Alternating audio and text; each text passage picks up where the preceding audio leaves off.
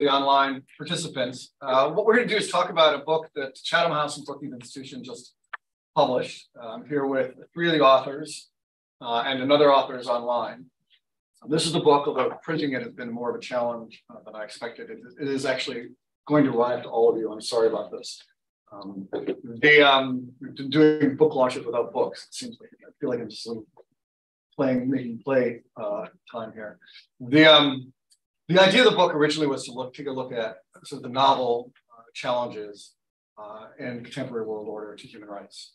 Um, sort of based on the observations that, first of all, the rise of populism is challenging human rights norms and institutions in, in new ways. The issue of Hungary, Poland, for example, in the EU and the European Commission, uh, and the ways in which they're struggling to sort of, if you will, sort of sanction one of their own members um, that has many of the facade, much of the facade of democracy.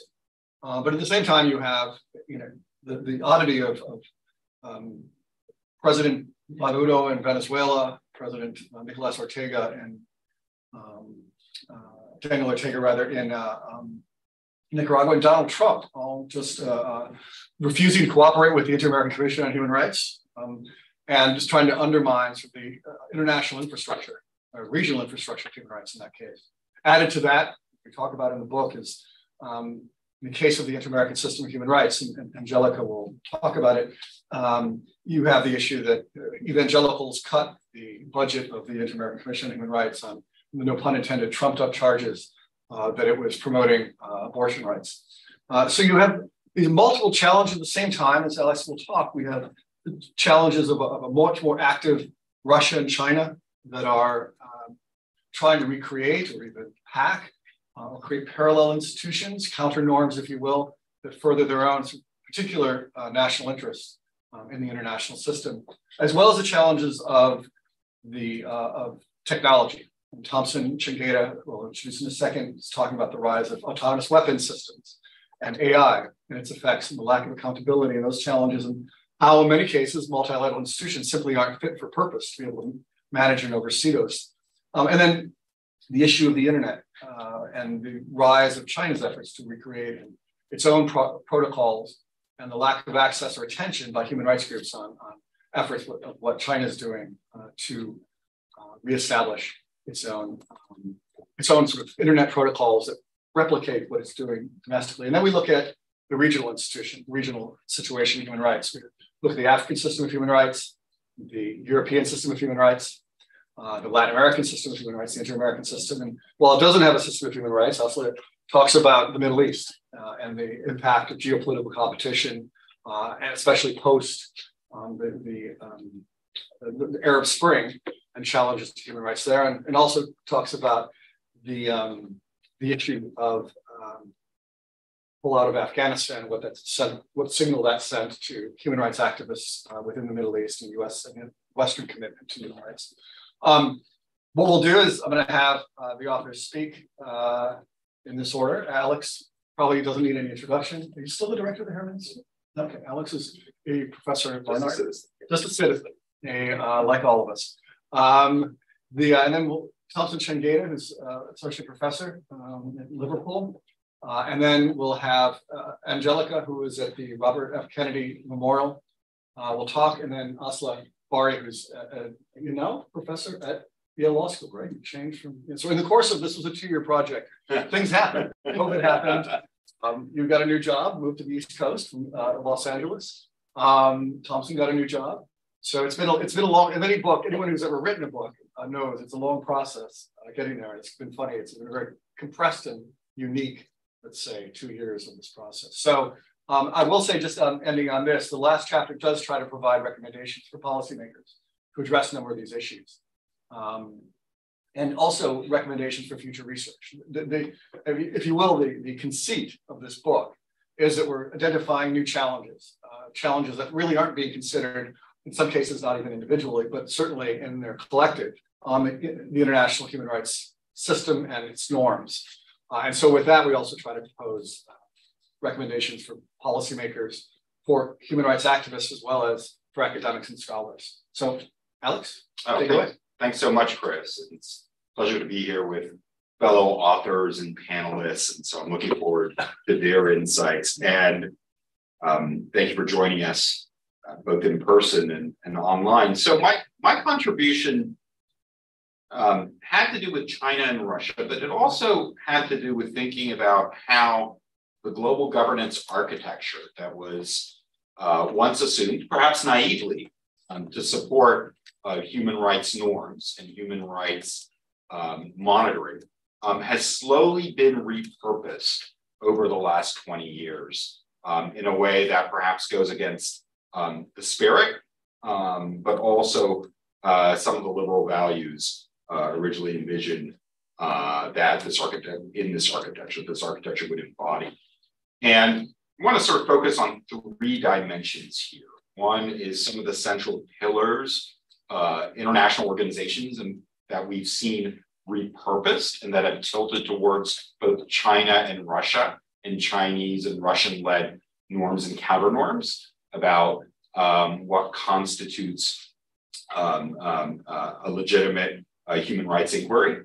Uh, second, I want to uh, uh, discuss the rise of new regional institutions that now exist in parallel to regional institutions, how they're challenging some of the assumptions we had uh, about the role of regional organizations in promoting human rights. And third, I want to discuss uh, this business of gongos versus NGOs and how they fit into this emerging sort of global governance picture. So it's a it's kind of a very macro, 30,000 foot in the air viewpoint.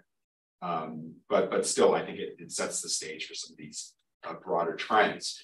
So um, international organizations, I think increasingly we've seen um, that uh, uh, both the rise of China and Russia, plus um, the lack of US commitment, and in some cases, um, very open retrenchment um, from membership in some of these international organizations and bodies um, has shifted some of their focus and some of the outcomes. Uh, in the book, I talk about um, sort of the, uh, the lessons of the vote, uh, the original vote in 2019 um, to criticize China over Xinjiang.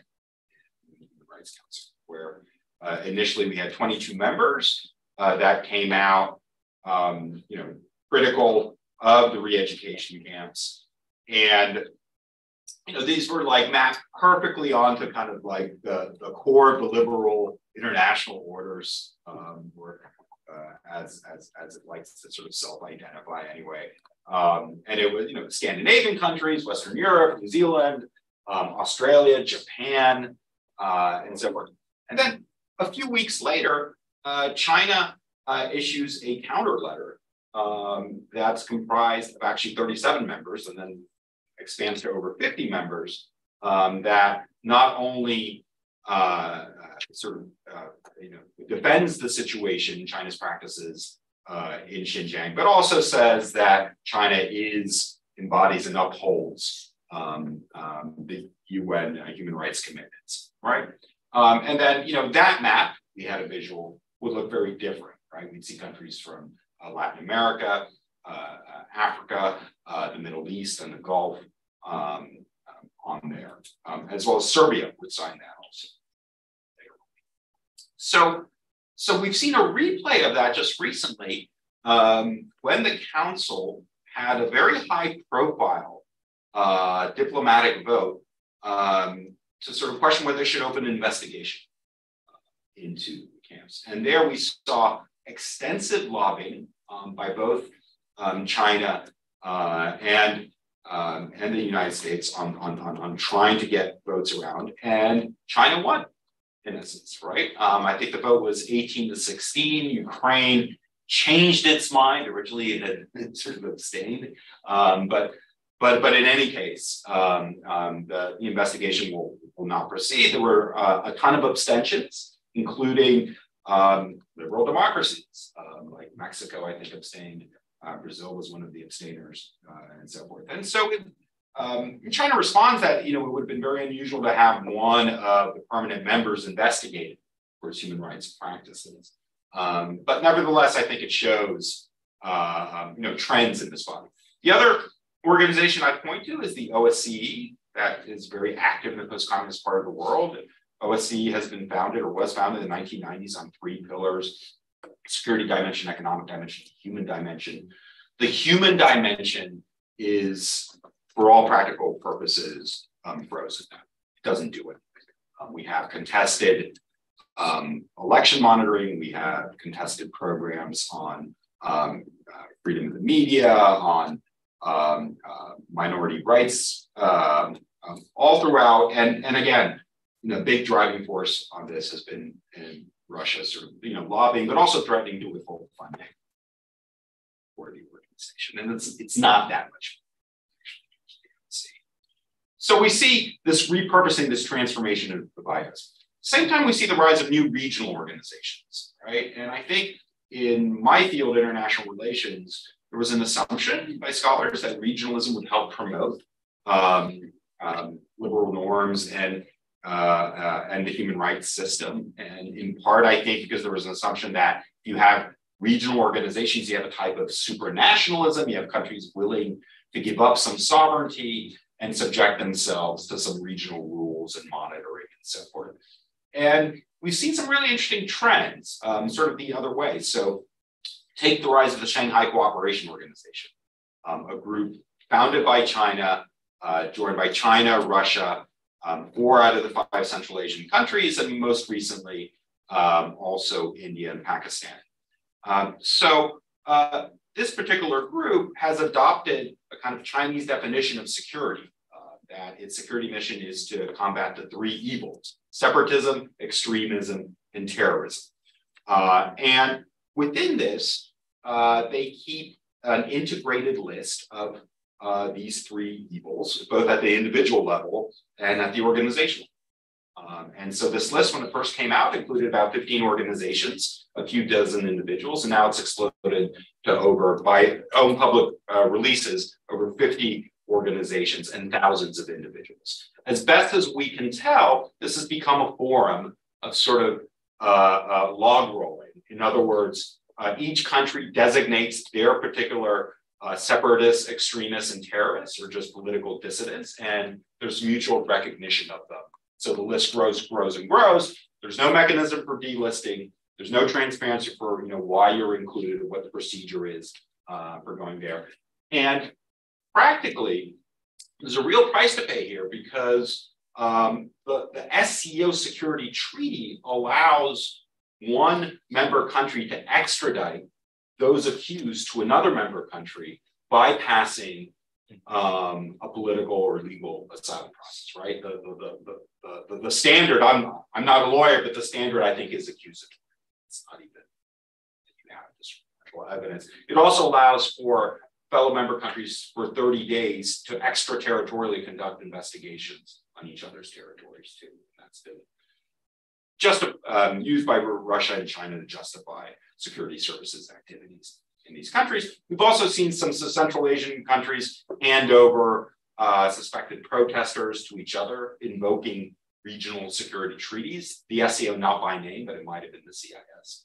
Um, the other aspect of this, I'll, I'll point to the Interparliamentary Council of the group of Commonwealth of Independent States. Um, Ed Lemon has done some really interesting research using plagiarism software, where he shows how a lot of the smaller countries, Tajikistan and Kyrgyzstan, have adopted wholesale Russian definitions of extremism and protest. Um, just you know 75 80% correspondence. And these are uh, disseminated through these interparliamentary assembly types of committees. So again this regional dissemination of, of norms.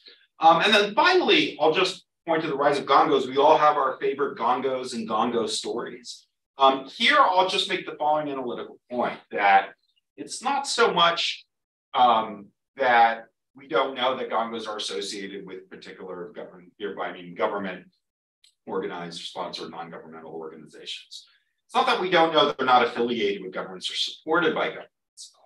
You know, youth groups, um, some citizens' rights groups, um, and so forth. It's that they're increasingly inserting themselves into civil society organizations. And by doing that, actually, um, now Chris Walker Net uses the, the, the, phrase muddying the water. I would say also just taking the space um, of conferences like the Warsaw OSCE conference, right, where we see, you know, um, um you know, most of the, you know, the first 10 speakers are gongos, right? Sort of signing up. In other words, um, you know, there's a sense that a lot of these civil transnational civil society on civil society types of contact groups now aren't functioning the way they used to um, because of the insertion of these governmental sponsored and interested organizations.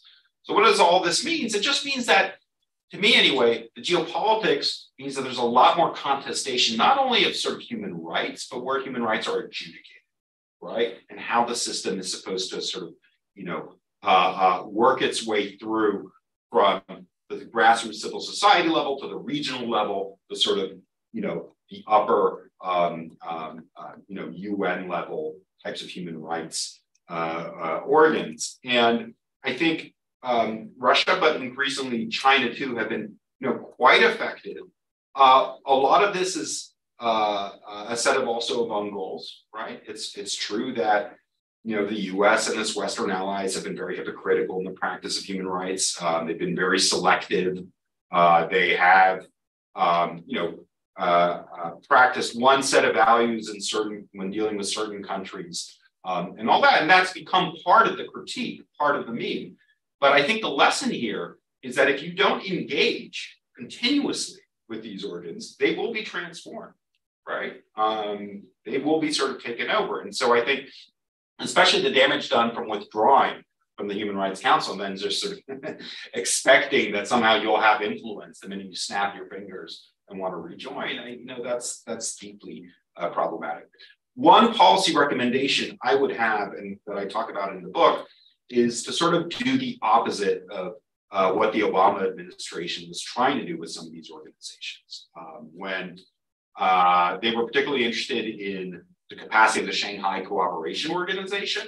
Um, what they wanted to do was engage with the SCO on a kind of a limited agenda. Uh, at the time, it was questions in Afghanistan. And they say, like, let's see practically what the SCO can do, and maybe we can find some areas of cooperation.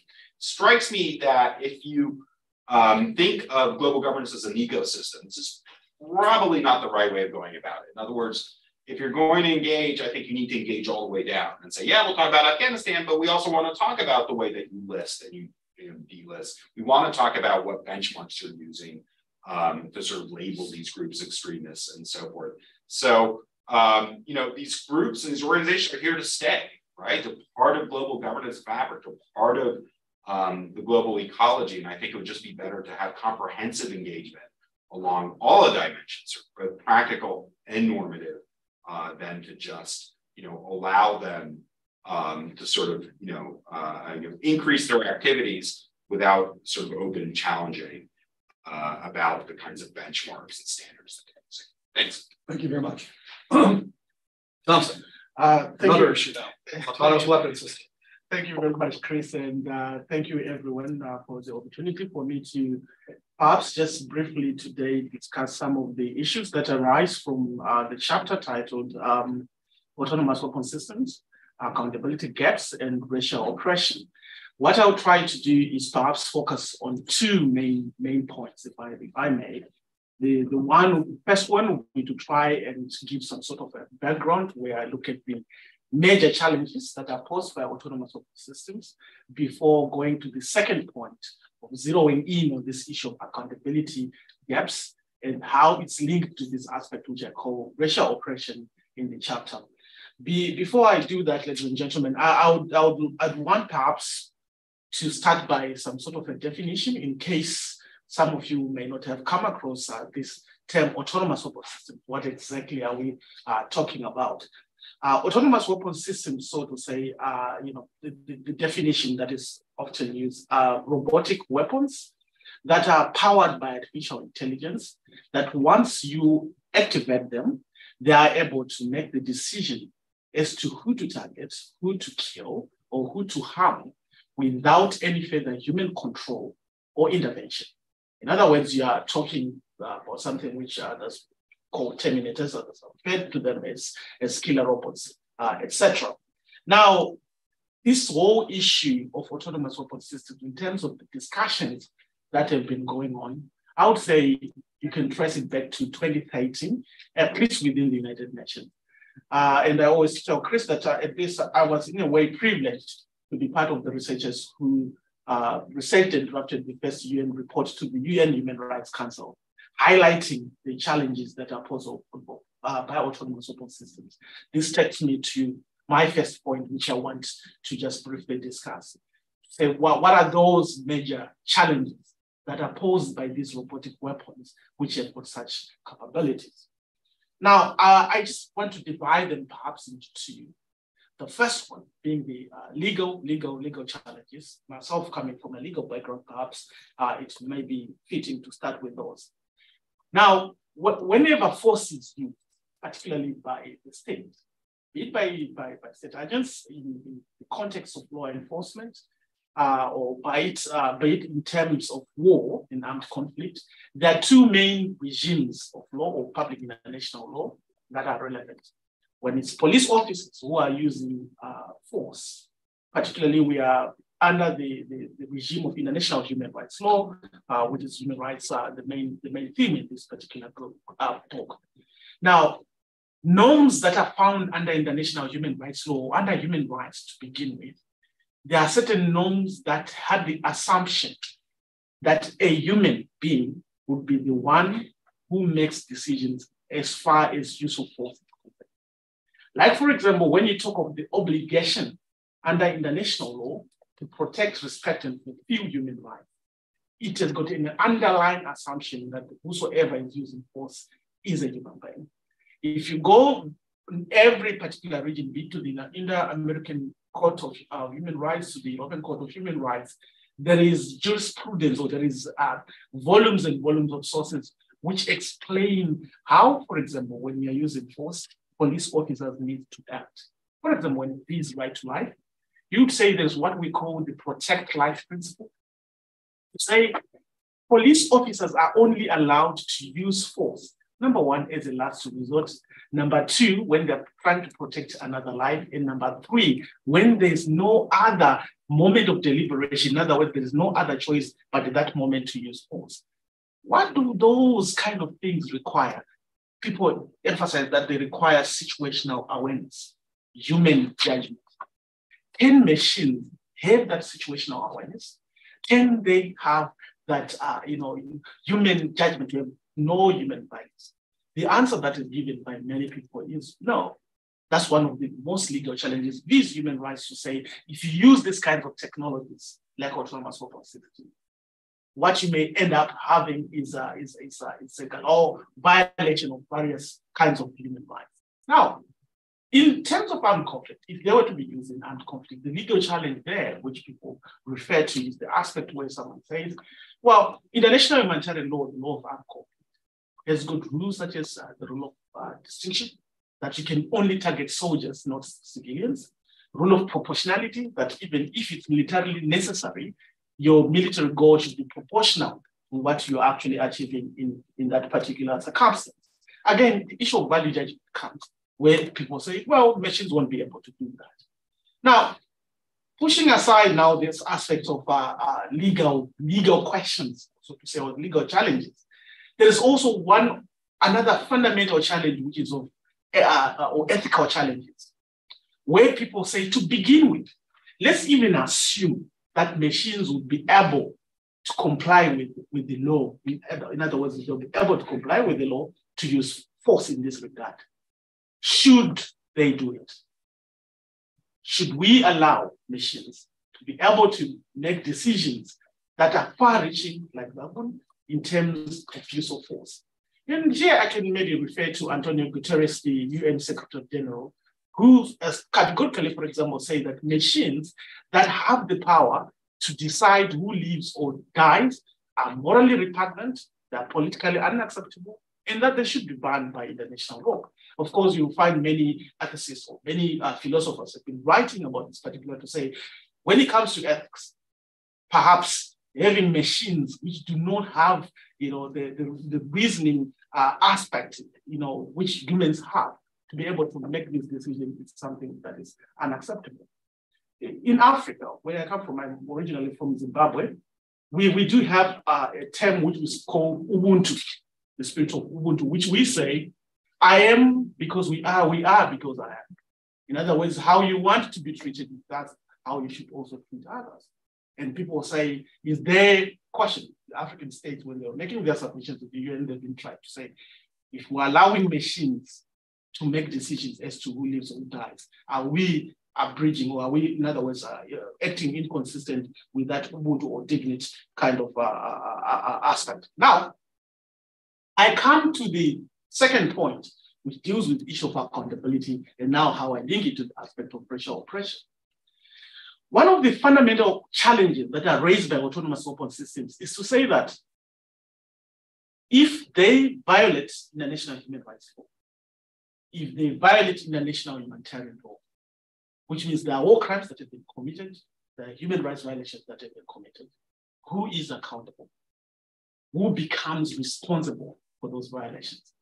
You'd find that when you're talking about war crimes, you need not only to prove actus reus what we call the wrongful conduct. But you also need to satisfy the court that the person involved in mens rea, a guilty mind, in what you are accusing them of. doing. Now, if I've activated a machine or an autonomous weapon system to kill person A, and then it goes and kill person B because it has got machine learning capabilities and end up making its own decisions. It means I have no mens rea, I have no guilty intention to kill person B. You cannot be able to convict me in a court of law.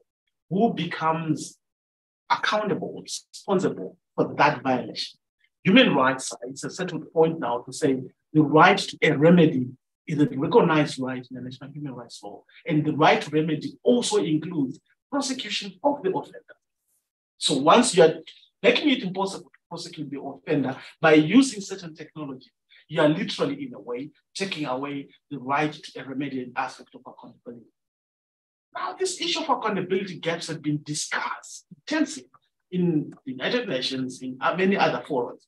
But in this book, now I zero into aspect of racial oppression, where I say we should discuss the issue of accountability gaps in context violation, we're not saying that there will not be someone to account for violation of rights, whose rights specifically? Here, then I look at the context of many UN reports where it is made, made clear, and also as a matter of fact, that when it comes to use of force by state agents, say in law enforcement, usually it is people of color, people of certain minorities who are disproportionate. Now, so when you're talking of the accountability gap, which I've been just discussing, I'm trying now to contextualize it to say, in addition to the right of non-discrimination, which we're already battling, you'll be adding now another layer where after violation of, for example, right to life in a circumstance where a machine has been used, there is not even anybody to try and hold account. In the United States, I think you have noted whenever, for example, there is wrongful killing of a, of a citizen by a police officer. One of the things that many people would be discussing is to say prosecution of the uh, law, law enforcement uh, person. And if they are not guilty, then they, they are acquitted. If they are guilty, then they have to go to jail. But imagine a situation now you are using an autonomous weapon system.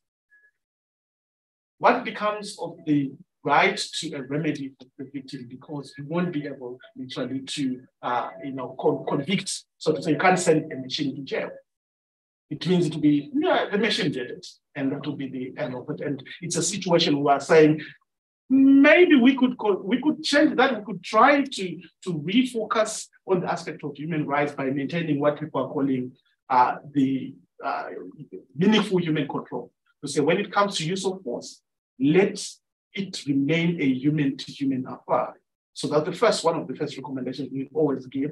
The second one is we are saying in the upcoming treaty, which people are proposing, say we need a new international law governing autonomous weapon systems. Let's have a principle which I'm turning, um, I'm turning principle against discrimination and oppression. To say at every point, when we're developing these AI technologies, we should always question ourselves to what extent have we made sure that we have stopped uh, the aspects of yeah, that's my, my apologies. Oh, no, but give a recommendation. Give me one of your recommendations. So that, that, that's the, the, recommendation which I was actually now saying the aspect where I say in, in, in coming up with new treaties, uh, especially on autonomous support systems, it is essential, number one, for uh, to make sure there is there is no discrimination that is associated with these technologies, and for NGOs or other uh, civil society as well working in this aspect to have, for example, uh, funding that looks into the issue of uh, racial discrimination that may be associated with this technology. I would want to end. end okay, but but the other you didn't do justice to your own chapter. Yeah. What he's also saying though is there's no, if I may, yeah, sure. There's no sort of multilateral institution or infrastructure to address these issues. It falls between the gaps in the existing human rights and multilateral bodies for oversight. And he's Thompson is being a little bit humble, I think, here. And you know, he's trying to work on this issue, and get, he gets sent from office to office, like, oh no, that you belong, and what the other offices are. Yeah. So it, it, it, it is again an example of a new challenge for which, in some cases, in this case, multilateral institutions are quite not fit for purpose and require some updating and, and uh, attention. Yeah, uh, just one sentence on what he's, he's referring to when he's saying multilateral uh, uh, aspect is that the UN Convention on Conventional Weapons is the forum within which these issues being currently discussed. But its limitation is that that forum is only limited to aspects of uh, international humanitarian law, that is um, uh, issues of armed conflict. You cannot raise, as it's rightfully saying, uh, to say, let's discuss the racial implications of these of these technologies and uh, you know and how they impact certain communities. Someone will tell you this is not the correct forum within which we can be able to discuss that. So that in itself, you, you are left with a, a, a group of individuals who know will be affected this way. Here is the how here is what scientists are saying regarding discrimination and bias associated with this kind of technology. But still now, where you can actually be able to articulate those issues becomes, you know, no way. Perfect. Very nice. Um, let's go to Angelita, um, who is remote. I can't see her because I'm I'm behind you, Chris. I know, no, no, I want to see you behind you. I see myself very big. I'm sorry too. well, thank you so much. I hope can you hear me well? Yes, yes, perfectly. Great. Okay. Now, thank you so much, uh, and thank you, Chris, for first of all for leading this wonderful initiative. It's been really, really fun and challenging to to think uh, and and propose specific recommendations on on the topic that uh, Santiago Canton and I um, were asked to write about, which is the Inter-American Human Rights System. And you know, my co-author was for a long time the executive secretary of the Inter-American Commission of Human Rights. I also worked for many years there, and so we tried to to use that experience of, of being from in, in the inside for a while, but also continue working uh, and revolving around the inter-American system and and and you know I, I, continue to now litigate before the system. I bring cases i advocate before the system. So using all that that uh, experience and, and that view to to analyze where we are what the challenges are and make recommendations on these uh, on the regional human rights system which has been really key in in the western hemisphere in different points in time throughout you know, its uh, more than now six decades of existence. And um, so we mainly focus on the Inter-American Commission, which is often referred to as a grand jewel of the Organization of American States, which is the organization that houses uh, the, the regional human rights system. Um, and again, the commission in particular has been instrumental for uh, protecting and restoring democracy in certain countries. We can, you know, think about Argentina under the dictatorship, Peru under Fujimori, just to give a few examples. And uh, it has also been a key institution to advance and develop human rights standards in, in the hemisphere, including on uh, freedom of expression, uh, political rights, the rights of indigenous people to their ancestral lands, the rights of women and LGBTQ plus people to be free from violence, just you know, among many other issues. But as we try to point out in the in the chapter that we wrote, this crown jewel needs polishing. And the organization that houses it, the Organization of American States, uh, also needs to step up and take a greater, more proactive role in enforcing the decisions and the standards uh, for human rights protection that these both the Inter-American Commission and, and the other main body of the human rights system, which is the Inter-American Court of Human Rights, have adopted throughout the years.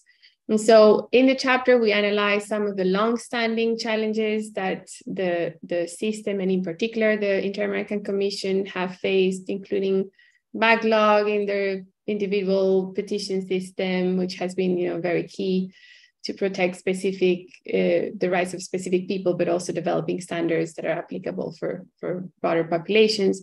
Uh, the lack of universal ratification of the regional human rights instruments, and of course, you know, the U.S. stands out as one of the countries that has the is, is one is at default of uh, ratifying the basic inter-American treaties, but it's not the only one. Um, and we also analyze some of the emerging challenges. Uh, maybe they're not that recent, but they've become more obvious in, in, in the last decade or so, including the role of the Commission in, in really helping address the threats and the challenges, uh, human rights challenges that are posed by private actors in, in the region, including you know, the business sector, but also addressing climate change, and the pervasive corruption that, that affects many countries in, in the Americas and, and the impact that has in turn in the enjoyment uh, of, of basic human rights.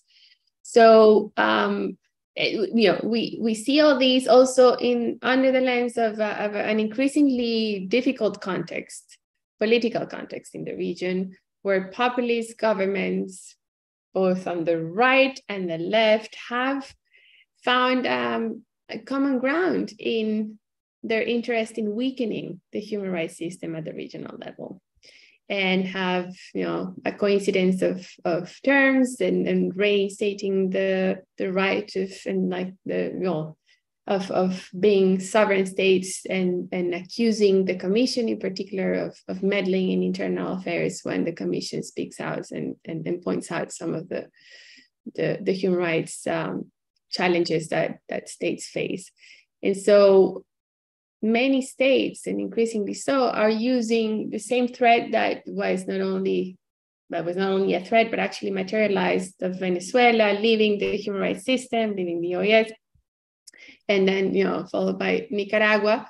Uh, but we have a few more that are threatening to do the same, and like you know more recently El Salvador, I wouldn't be surprised that Guatemala also.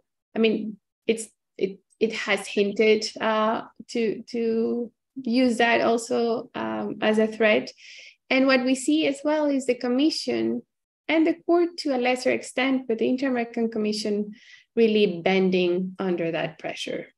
The Commission currently is less vocal, is is uh, less critical, is being more deferential to states, and we can understand why you know its own survival is at stake. At the end of the day it's a system that uh, depends on the will of member states of the oas but um, it's really affecting a lot of its credibility and, and effectiveness. And so um, and it also we have an organization the organization of american states that is not really doing what it should or or investing in what works best in, in the organization, which is really its human rights um, bodies, the commission and the court. So we make um, a series of recommendations to the commission itself on, on, on uh, measures that could help address some of the historic challenges, but also some of the emerging challenges. And, um, and including expanding and maybe like replicating to some extent the model of the Office of the High Commissioner for Human Rights of, of the UN in having more uh, constant presence in the different countries in the region, maybe even by establishing sub sub-regional hubs, because the commission is based in Washington, D.C., and it's still very inaccessible for the populations that need it most. It's very far away, it's very distant and um, that affects obviously a lot of its its work and and and um, access by by many people around the region. So the the other uh, set of recommendations, and this is just an example of the recommendations that we make, but we also make recommendations to the OAS.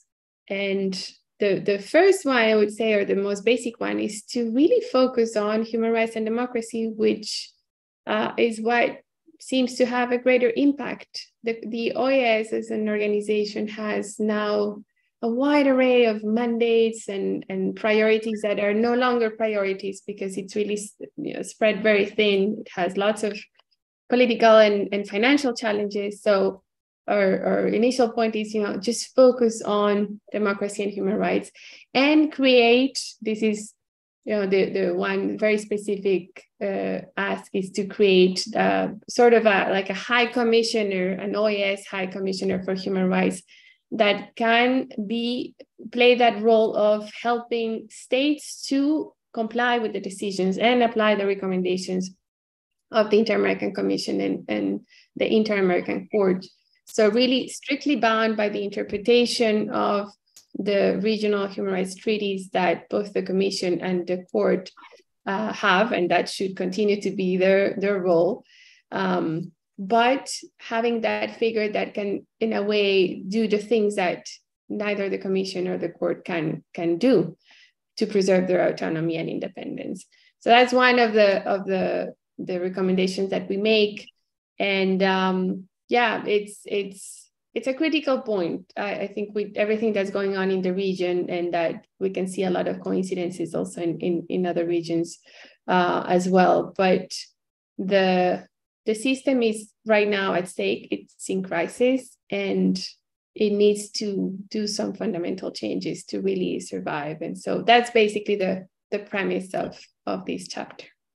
Thank you. It's a reminder in the chapter and in your description, Angelita, just how um, inter, international norms and systems to protect human rights, much the way you're saying, Alex, too, sort of rest on a very uh, fragile consensus around them. And when that starts to fray, uh, we sort of assumed in many cases these were stable and would be enduring simply because they had a, their own momentum and they tend to consolidate. And in fact, I think they're turning out to be much more fragile uh, than we realized. You know, once that starts, that foundation begins to, to, to, fray, it can, it can really become and can force them to trim their sails quite a bit in terms of how they exercise their mandate.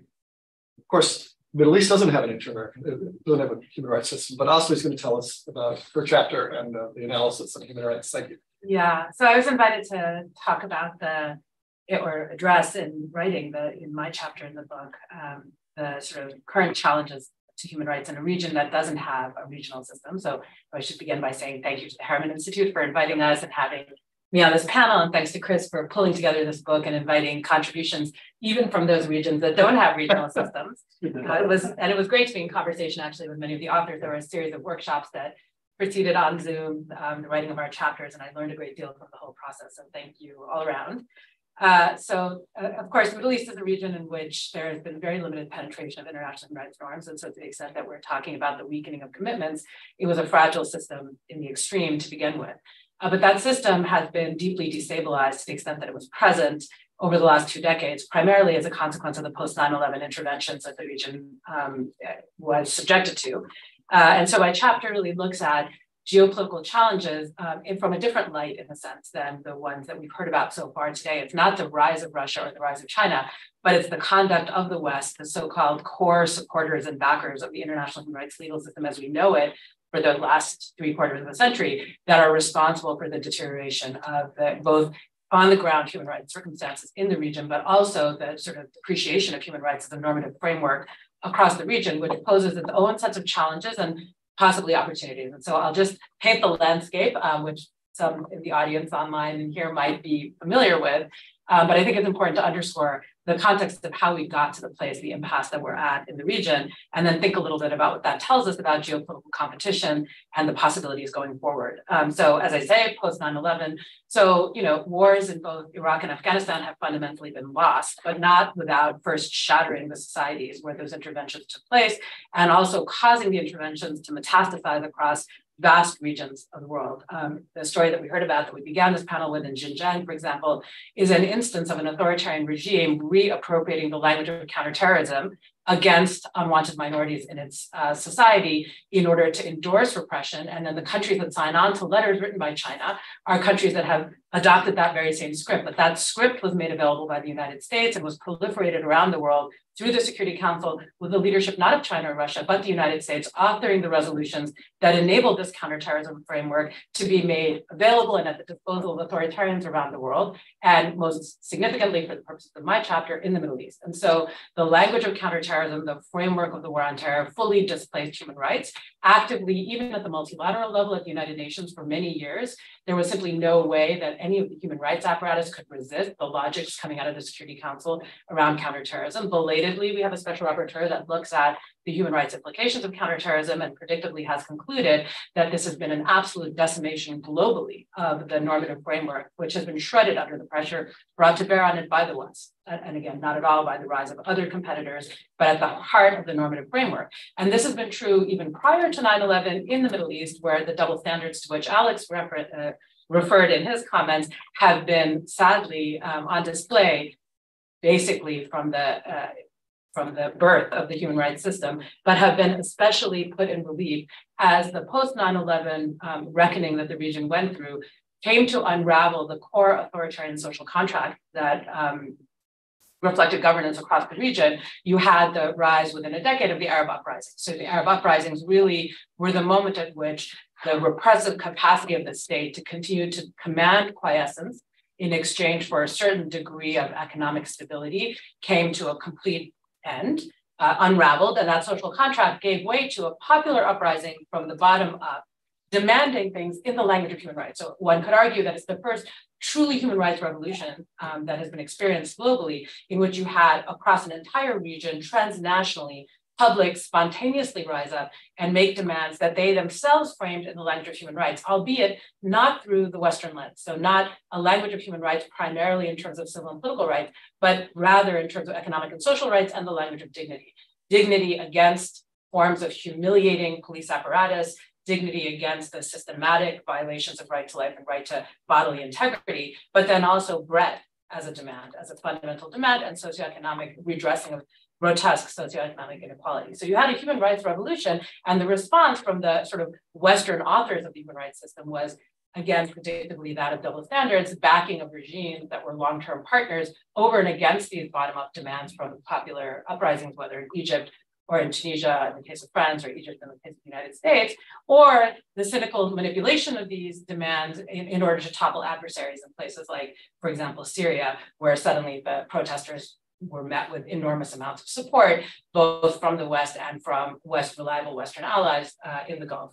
So against this backdrop of the sort of um, stark relief in which these double standards were set by the Arab uprisings, you had the uprisings themselves give way to sort of three pathways. One, civil wars, and these were primarily in countries where the uprisings occurred against adversaries of the Western order in the Middle East, where again, as I say, there was enormous amount of material support provided to those that were rising up, who were rising up with very legitimate grievances. But when you're trying to topple Gaddafi or Assad, you get a different kind of Western support and support from the Gulf than you might get if you're trying to topple Mubarak um, or, or uh, another actor. So Syria, Libya, and Yemen find themselves on a path of civil war.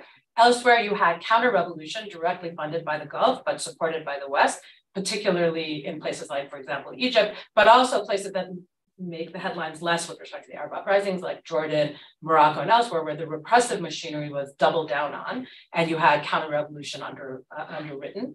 And then you had places that were destabilized and are on a long-term trajectory of what I would call ongoing revolution. We see this today very clearly in Iran, um, and from the Green Movement, which preceded the Arab uprisings, through the Gezi protests in Turkey, which succeeded the Arab uprisings, you had the region as a whole, not just the Arab world, really convulsed by these um, phenomena. In Iran, we see them continuing, but not just in Iran, in Iraq, in Lebanon, in Algeria, in Sudan. We continue to see the echoes through the decade. So these three trajectories of civil war, deep repression and then ongoing uprising are the basic landscape that we now find uh, in the region. And what does that look like a decade after the uprisings or some more than a decade after the uprisings?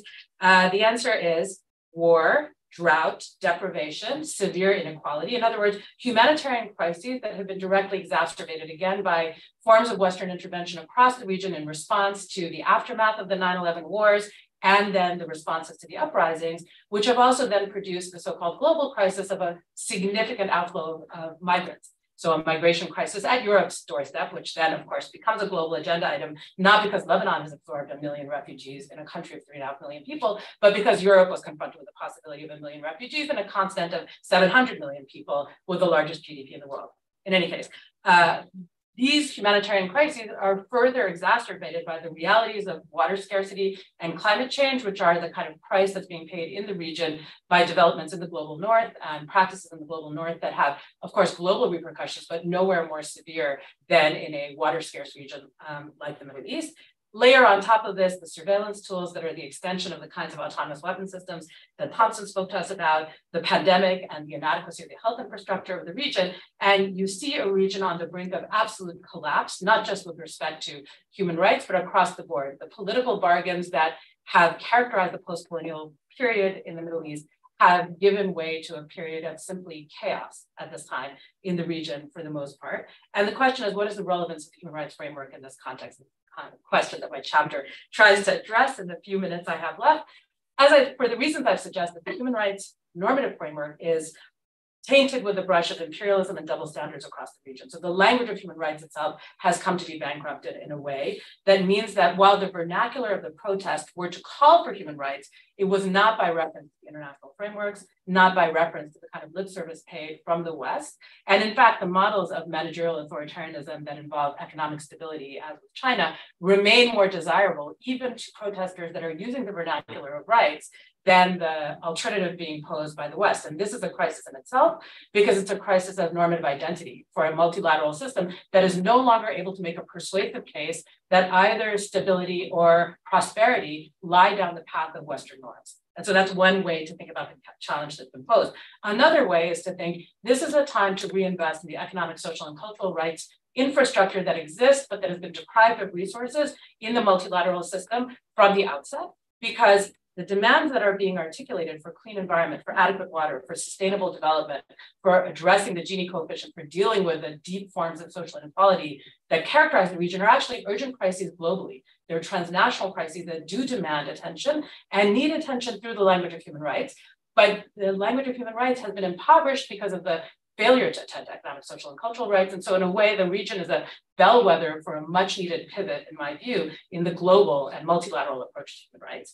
And then finally, and this, this is where my recommendations come in, um, there is a need for reparative justice. There was a lot of talk in the last couple of decades about responsibility to protect coming in and saving uh, civilian populations in the name of their humanitarian uh, welfare. And that indeed is, for example, the form of intervention that left Libya in tatters and on the brink of partition and in an ongoing civil war for the last 10 years.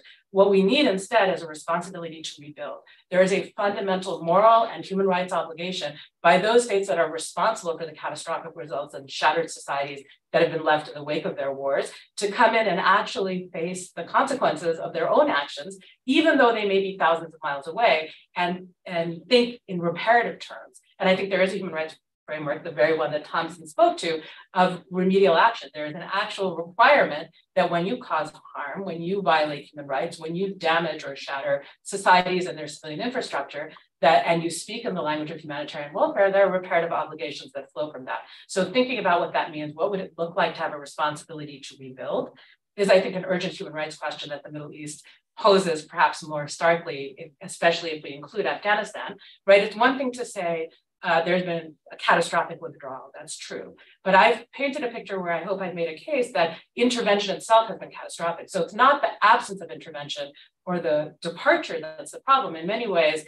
geopolitical competition, geopolitical fragmentation, and a Western pivot away from the Middle East is perhaps the best news of the last three decades for the region. but having said that, it's not just non-intervention, it's actually reparative obligations that go forward. That's what's failed in Afghanistan. There's been not only a total failure to offer any form of reparation, but there's been the freezing of the assets of the regime, making it impossible, however problematic. And I, of course, in no way am I intending this set of comments to legitimate the current regime in Afghanistan, but it has the responsibility and the right to provide for the humanitarian welfare of its own population, which means at least accessing its sovereign resources.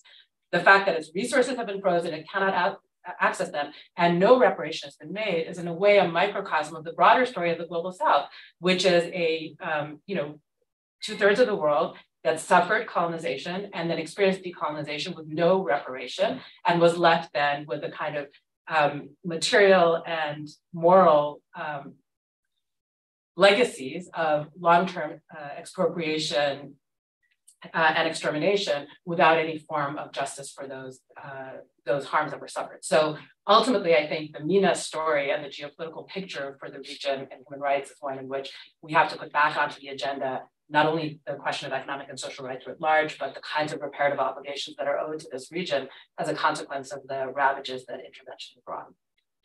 Amazing. Let's go straight to questions. I can talk about the conclusions but and the recommendations, but we've already done that. Please uh, introduce yourself. Yeah, my name is Justin Burke. I am uh, the editor of EurasiaNet, which is a daily news website that covers Eurasia. uh, anyway, uh, thank you, panelists. It's a very interesting uh, presentation.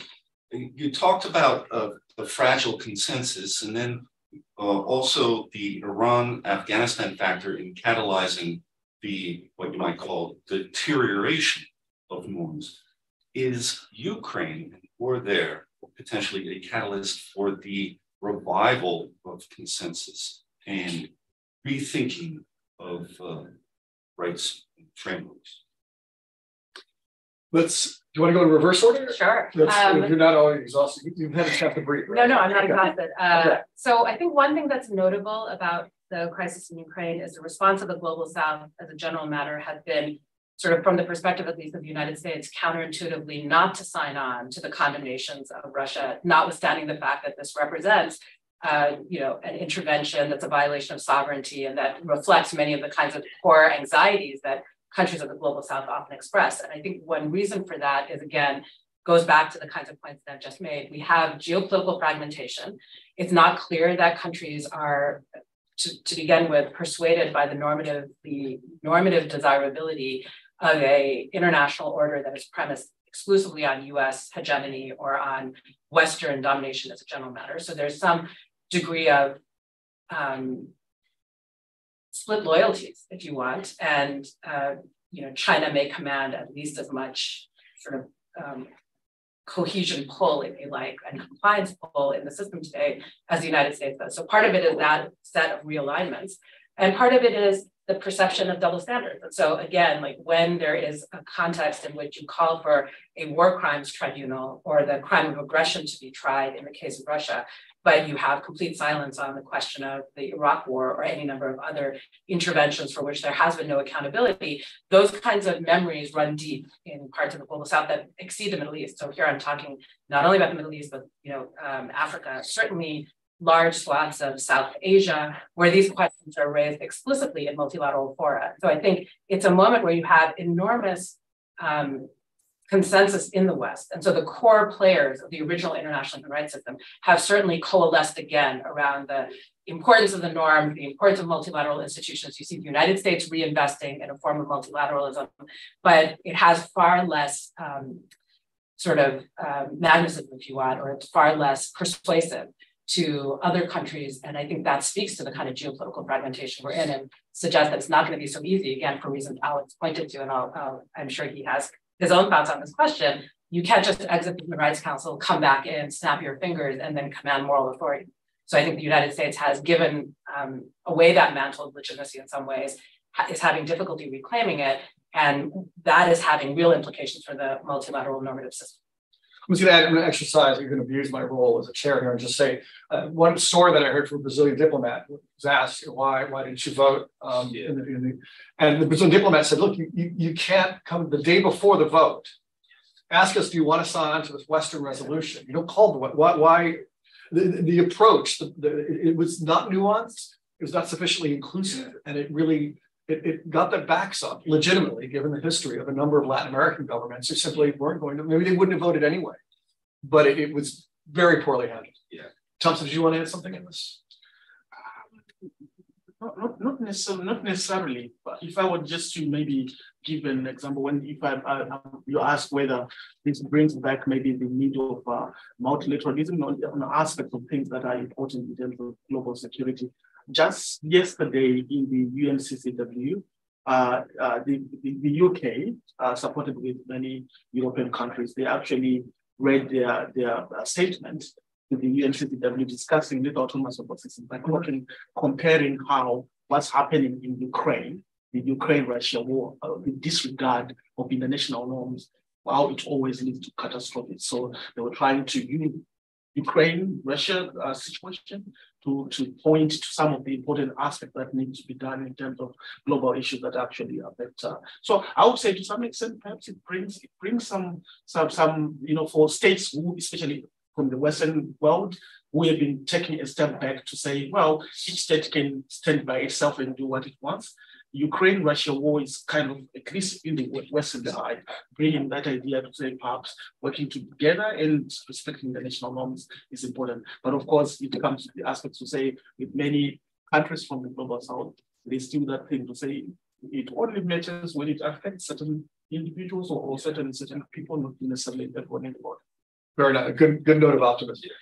Yeah, I mean, I, I think I would um, generally agree with all the previous comments on that. I'll, I'll just add a, a couple of uh, additional thoughts. One is, I think it's precisely because of the Western unity that it appears that the global South is not on board, right? And I think probably the Russians thought they were going to get double the support of what they got.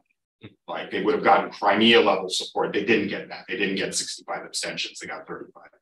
Right. Having said that, the abstentions that they got constitute half of humanity right? So it's a little bit how, how do you count it, right? Like China, India, Pakistan, South Africa, Bangladesh, right? Versus like Brazil versus number of countries, right?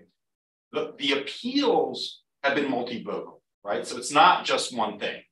It is about double standards. It is about hypocrisy. It is about where were you in Iraq, but it's also about like, we don't want sanctions. Like, why should we pay the price? I mean, like very material argument, right? And that you see actually in the post-Soviet space and Georgia, as well as Kazakhstan, um, you know, in addition to um, uh, some of the places we talked about. So, uh, uh, so I think that's one. I think part of what um, has driven the Western response has been this um, outrage and stigmatization of Russia, right, on a level that we just haven't seen really since, I would say, almost like apartheid South Africa right? In terms of this mass private sector pullout that you got within 48 hours in Russia, um, as well as you know, stigmatization on the cultural front, cancel culture, you know, barring for sporting federations and so forth. That I think sort of the global south looks at and it's like, well, where was this mass kind of pull out with all these other causes? So so for me, I think in most cases, it's not so much um, a sympathy with Russia. It's just like what makes this so extraordinary compared to other interventions in conflicts. I think it's it's more that that type of uh, that type of reaction. And I actually think that the U.S. and the West have erred in their messaging by pushing that this is primarily about defending the norm of democracy versus Putin's autocracy. It should be about defending sovereignty, yeah. right? And that's, you know, the most pressing kind of issue here. And that's the one I think that would find more kind of normative uh, resonance. But I think Bush at some point confused Iraq and Ukraine in a in a public speech, and that really sort of opened the door, I think, to some of these. I will say what was funny is that yeah, I live in London and, and the BBC uh, was covering the vote in the UNHRC, the UN Human Rights Council. I'm sure most BBC viewers were like, what that? Um, and I thought that was positive. Like for once, there was actual news coverage of the vote on Russia um, membership in the UNHRC. So I do think there's there, there are opportunities, much as Ch- Thompson was saying. Um, we'll see how that can, and, and, but I think it's been handled somewhat clumsily. But if I could just interject, uh, the BBC is viewed globally, right? And the fact that you never hear about the UNHRC until it's about Russia, but also like yeah, more importantly, Ukraine refugees. I mean, yeah. for the whole of the global south, including Latin America. I mean, you know, people are being fast tracked at the Mexican border on the ground right. that they're Ukrainian, yeah. while Central Americans who have been waiting for, for years and years and have been told that they represent a public health crisis continue to be denied. In Europe, I mean, you know, Syrian, Afghan, Iraqi refugees are being allowed to freeze to death in the woods of Belarus while the same countries are opening up, you know, their homes. Everybody, uh, I mean, anyway, the I could go on, but the bottom line yeah, is that these images are projected globally by channels like the BBC, and it's not lost on anybody, I think, in North Africa, Sub-Saharan Africa, the Middle yeah. East, Central Asia, South Asia, that some people are welcome. Some people's plight is seen as a genuine tragedy, and other people's plight is seen as a, a burden and a threat. Any other questions? We have anyone online? Yes, please. Hi. my name is Eber. I'm a master's student at UC Florida. So my question was, what role does one citizen citizenship play in determining human rights that are applicable to them? What, so wanna, I missed the question. Uh, what role does one citizenship play in determining human rights that are applicable to them? I, I, I would say as a as a as a uh, uh, let's say the status of the law it says to say that there should generally non-discrimination. Your citizenship or your nationality should not determine the rights that accrue to all of us should accrue to us because we are human. But as a matter of reality, I think these examples have been given uh, many times. Uh, your citizenship or your, your nationality as a matter of political reality always sometimes play a role in whether, for example, your rights are respected, or if they're not respected, whether you are afforded, uh, you know, a remedy. So it should, as a matter of law, it actually should not uh, determine whether which kind of rights you you you you, you get when you talk about, uh, especially the, the major the major uh, human rights or fundamental human rights. But as a matter of political reality, unfortunately, it always plays differently. I know, I know you're probably still lurking behind me there. Um, did you want to weigh in on any of these? I kind of, I didn't mean to cut you out. No, thank you. I mean, on the citizenship role, that one one thing is what ought to be, and another thing is what happens in reality. And obviously, citizenship unfortunately does play a big role in in the level of enjoyment of human rights. But from a more legal uh, point of view, there's actually a lot of very good uh, interpretation of the law that reaffirms almost every right is applicable without distinction, regardless of your citizenship status. Now, except maybe political rights. No? But there's a lot of very interesting case law um, around the world, but especially I would say in, I'm more familiar, obviously, with the inter-American system and and from uh, you know, basic civil rights to the right to uh, equal access to health services and uh, to education, to even playing and and uh, like being a journalist, a notary, lawyer, uh, all that does not or should not uh, have anything to do like depend at all on on the citizenship, but but in practice, it you know obviously that's that's another another thing and that's why also the right to to citizenship um, which is one that has been also extensively developed and and uh, analyzed under case law in the in in, in the americas is uh, one where you know a lot of rights really depend on that the recognition of, of citizenship and nationality. So just my my two cents on that. I don't know if i, I understood correctly the question but uh, this is my attempt. Yeah, no, I think that was absolutely spot on. And I'm going to end on that note just to say one of the things that we call for in the book, um, in the recommendations, is the need to really begin to sort of redefine uh, human rights along the lines of economic, social, and cultural rights um, to make them more relevant to, to the global South, to begin to change that discourse so it's seen less as a vestige of US imperialism or Western imperialism, but more as something that is bound up in concepts of citizenship, bound up in citizen in concepts of a livable future uh, for uh, next generations. And, and clearly, you know, there, there's a number of other reforms institutionally would have to go along with that. Thompson and others have talked about. So thank you all for joining us. Um, the book is actually, it, you can buy it online. Um, I don't, this is the only living copy, I think, right now.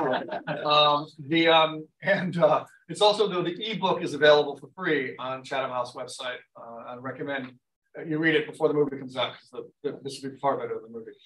I just don't know who's going to play me. Thank you very much.